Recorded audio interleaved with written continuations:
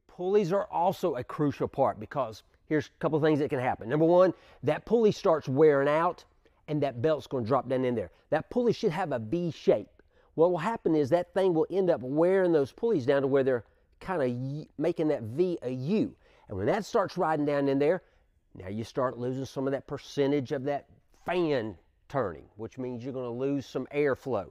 So those pulleys, make sure your pulleys got a good V, they're not worn, and also alignment.